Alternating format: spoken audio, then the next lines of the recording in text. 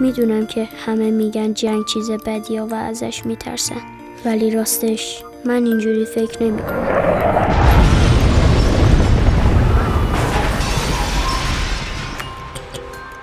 بم یهو می‌خوره تو سرمون شما میرید بهش ما میریم به جهنم.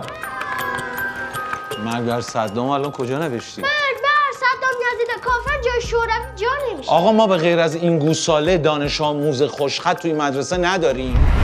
توجه توجه. علامتی که همکنون میشنوید اعلام خطر یا وضعیت قرمز است.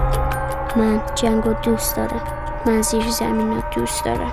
من موشک بارون رو دوست دارم. خدایا ازت خواهش می‌کنم. عراقی و صدام یزید عزیز هر شب بیام وضعیت قرمز شه. من برم تو پناهگاه دختر همسایه‌ام رو ببینم.